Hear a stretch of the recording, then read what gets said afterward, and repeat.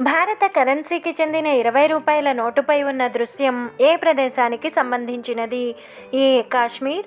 B Goa? C Puducherry D Andaman? And Nicobar. Your time starts now.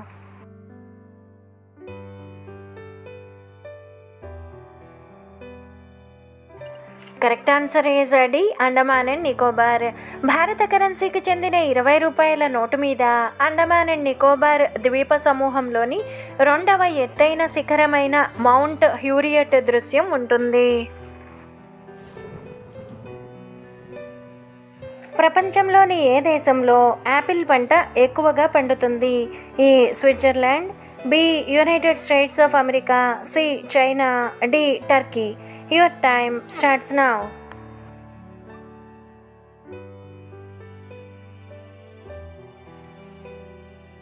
correct answer is C China రెండు వేల ఇరవై ఒకటో సంవత్సరంలో ప్రపంచవ్యాప్తంగా యాపిల్స్ ఉత్పత్తిలో చైనా దాదాపు నలభై నాలుగు మిలియన్ మెట్రిక్ టన్నుల ఉత్పత్తితో ప్రపంచంలోనే మొట్టమొదటి స్థానంలో ఉంది.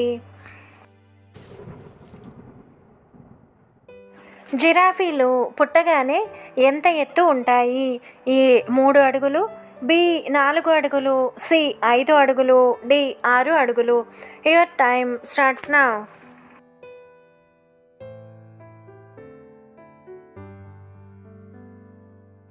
correct answer is D ఆరు అడుగులు. జిరాఫీలు పుట్టగానే దాదాపు ఆరు అడుగుల పొడవు మరియు యాభై నుంచి డెబ్బై కిలోల బరువు ఉంటాయి. జిరాఫీలు పుట్టిన తర్వాత దాదాపు ముప్పై నిమిషాలు నడవగలిగినప్పటికీ నిటారుగా నిలబడడానికి మాత్రం చాలా గంటలు పడుతుంది. ప్రపంచంలోనే మొట్టమొదటగా ప్లాస్టిక్ కరెన్సీని పరిచయం చేసిన దేశం ఏది? A Canada? B New Zealand? C Fiji? D Australia? Your time starts now.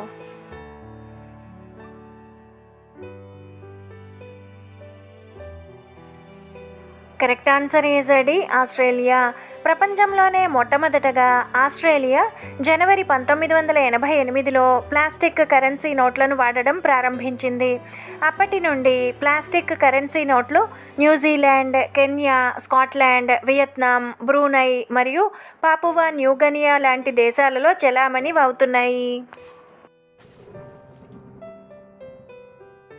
భారతదేశంలో అత్యధికంగా విశ్వవిద్యాలయాలను కలిగిన రాష్ట్రం ఏది? A Tamil Nadu B Karnataka C Rajasthan D Uttar Pradesh. Your time starts now.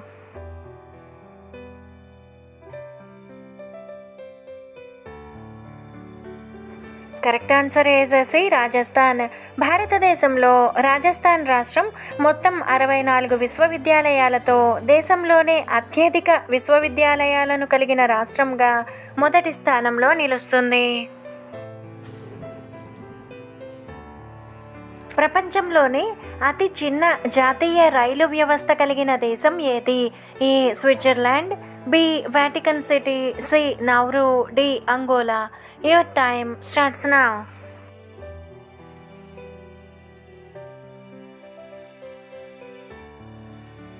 Correct answer is B Vatican City. పంతొమ్మిది వందల ముప్పై నాలుగులో కేవలం మూడు వందల మీటర్ల పొడవుతో వాటికన్ సిటీ తన స్వంత రైలు మార్గాన్ని ప్రారంభించింది. ఇది ప్రపంచంలోనే అతి చిన్న జాతీయ రైల్వే. రెండు వేల పదిహేనులో వాటికన్ సిటీ తన మొదటి ప్రయాణికుల సేవను ప్రారంభించింది. అయితే చాలా వరకు రైలు మార్గాన్ని సరుకు రవాణా కోసమే ఉపయోగిస్తారు. United Arab Emirates golden visa పొందిన తొలి భారతీయ నటుడు ఎవరు? A. Amitabh Bachchan B. Shahrukh Khan C. Aamir Khan D. Salman Khan. Your time starts now.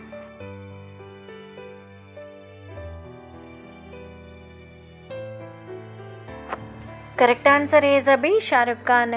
ముప్పై ఏళ్ళ పాటు హిందీ సినీ ఫీల్డ్ అయిన బాలీవుడ్ను ఏలిన భారతీయ సినీ పరిశ్రమకు చెందిన Badshah Shahrukh Khan United Arab Emirates golden visa పొందిన తొలి భారతీయ నటుడు. ప్రపంచంలోనే అత్యంత పెద్ద బీచ్ ఎక్కడ ఉంది? A Australia B Philippines C Bangladesh D Indonesia. Your time starts now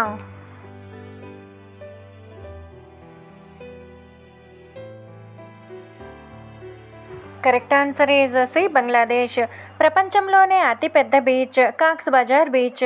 ఈ బీచ్ బంగ్లాదేశ్లోని కాక్స్ బజార్లో ఉంది. ఇది ప్రపంచంలోనే అత్యంత పొడవైన సహజ సముద్ర బీచు. భారతదేశాన్ని పాలించిన చక్రవర్తుల్లో నిరక్షరాస్యుడైన మొఘల్ చక్రవర్తి ఎవరు? A Babur B. Akbar C. Humayun D. Aurangzeb. Your time starts now.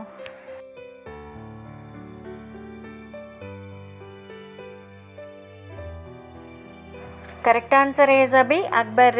Mughal సామ్రాజ్యానికి మూడవ పాలకుడైన అక్బర్ నిరక్షరాస్యుడు. అక్బర్ పండితులను కవులను చిత్రకారులను మరియు సంగీతకారులను ప్రోత్సహించి తన ఆస్థానాన్ని సంస్కృతికి కేంద్రంగా మార్చుకున్నాడు. అంతేకాకుండా అక్బర్ పుస్తకాల యొక్క క్రియాశీల పోషకుడు. ఈయన రచయితలకు మద్దతు ఇచ్చేవాడు. భారీ లైబ్రరీని నిర్మించాడు. అయితే అక్బర్ నిరక్షరాస్యుడని గ్రంథాలు సూచిస్తున్నాయి. రామాయణ ఇతిహాసం ప్రకారం అయోధ్యని ఎవరు స్థాపించారు? ఈ మనువు? బి విశ్వకర్మ సి కుబేరుడు D Brahma. Your time starts now.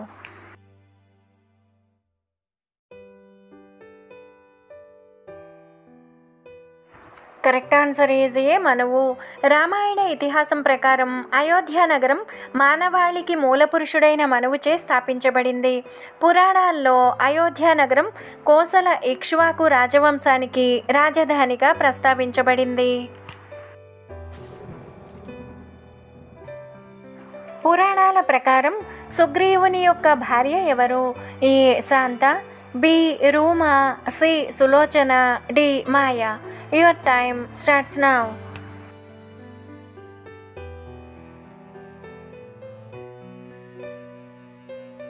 correct answer is B Ruma ప్రాచీన భారతీయ ఇతిహాసం రామాయణంలో సుగ్రీవుడు వాలి యొక్క తమ్ముడు సుగ్రీవుడు సూర్యుని కుమారుడు సుగ్రీవుని భార్య రూమా. ఉదయాన్నే జీలకర్ర నీటిని తాగితే ఏమవుతుంది? ఈ జీర్ణశక్తి పెరుగుతుంది బి మొటిమలు తగ్గుతాయి సి జుట్టు పెరుగుతుంది డి యవ్వనంగా చేస్తుంది. Your time starts now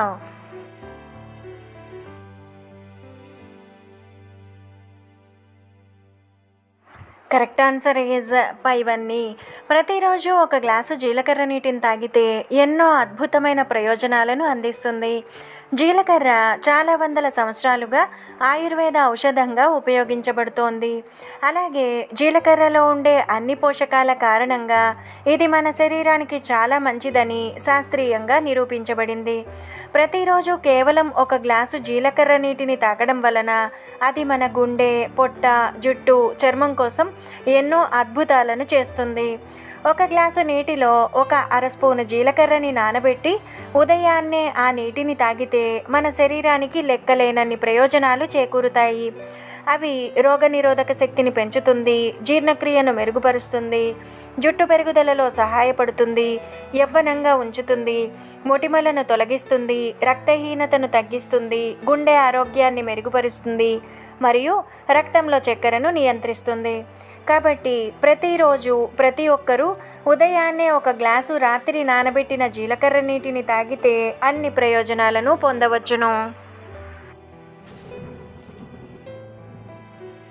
భారతదేశంలోని ఏ రాష్ట్రంలో అత్యధిక జాతీయ పార్కులు ఉన్నాయి? A Uttar Pradesh B Andhra Pradesh C Telangana D Madhya Pradesh. Your time starts now.